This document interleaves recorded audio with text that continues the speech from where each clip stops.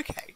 Um, I'm trying to do some screencasts that are associated with my Robust Tools uh, class that I give to psychology students as an introduction to R and GitHub and data science and the kind of modern computing resources that uh, students often need these days. Um, I am completely inept at doing uh, YouTube uh, video recordings of any kind, so this is kind of laughably incompetent, but I'm being brave, I'm going to put all this up on the internet so that people can use it. The primary motivation for my class is thinking about scientific problems. At most of the time, uh, we do want to solve a scientific problem, like usually you wouldn't be taking a science class uh, if you weren't. Um, but the reason that we're doing it is not because we're deeply fascinated with baking tools or with the scientific process per se.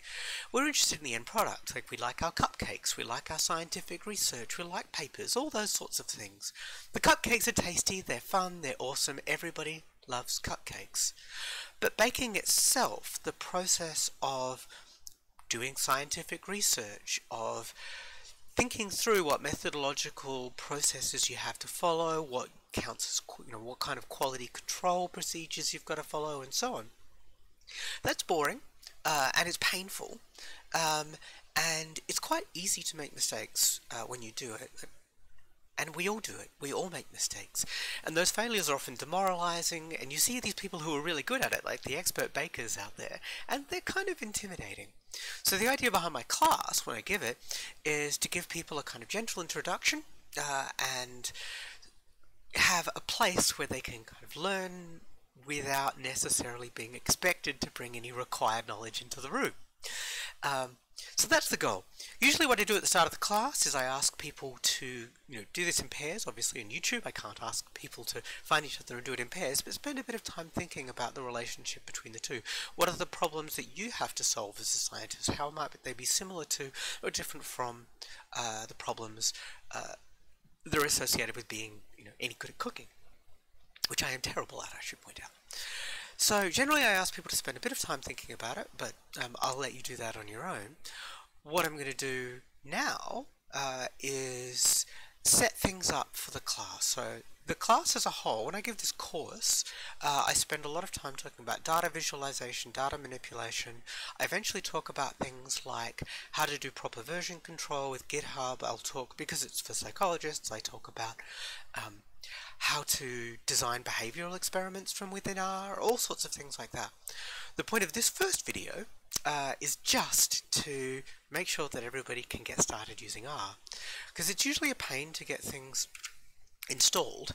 So what I usually prefer to do, just to get beginners up and running, is to get them using uh, R online. So what I do at home is I have an R and RStudio both installed on my laptop and so I'll be working from my desktop and it'll have all the things that I need on my local machine. And so, but, so the process of doing this uh, is actually slightly painful. Uh, so you have to go through the installation process. You usually discover there's something weird about your machine. You spend a lot of time crying, and then finally you can get started. And we'd like to just skip the crying. So to skip the crying, what we're going to do for this class uh, is run everything using RStudio Cloud, which has a whole lot of pre-configured workspaces that I'll take you through uh, when we go through the class. So I, I said when I said uh, that I assume no prior knowledge, um, I really meant it. I will not assume that people coming into this uh, have an RStudio account, so what I will do is, wait, no, I want to go I know what I'm doing. I'm really good at this. Trust me. Okay, this is RStudio Cloud website.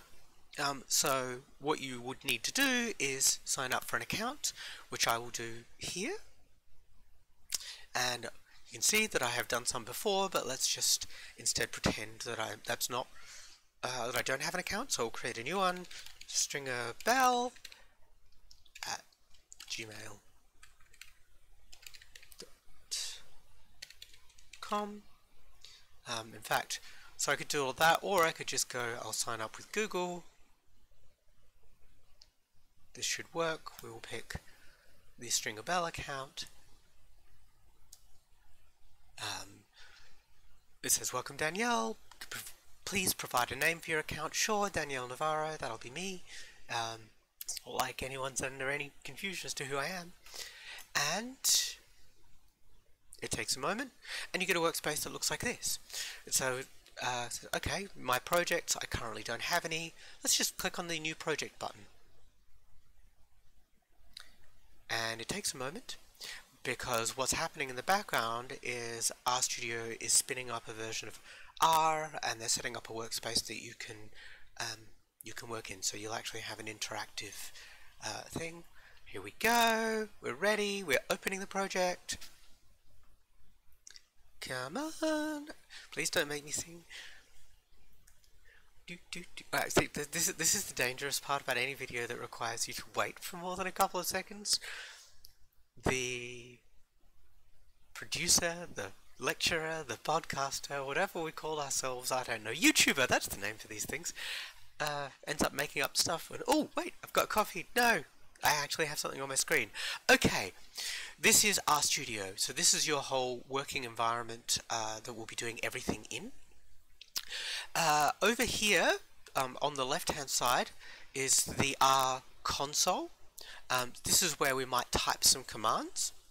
Over here on the right at the bottom um, is the files pane. Um, so you can see that there's a couple of files in here, one that's just called project.Rproj, another one called .rhistory.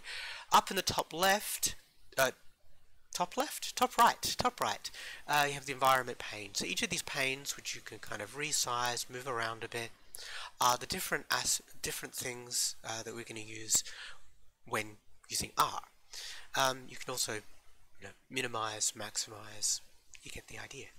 Okay, so let's just pretend that uh, we had something we really deeply wanted to do.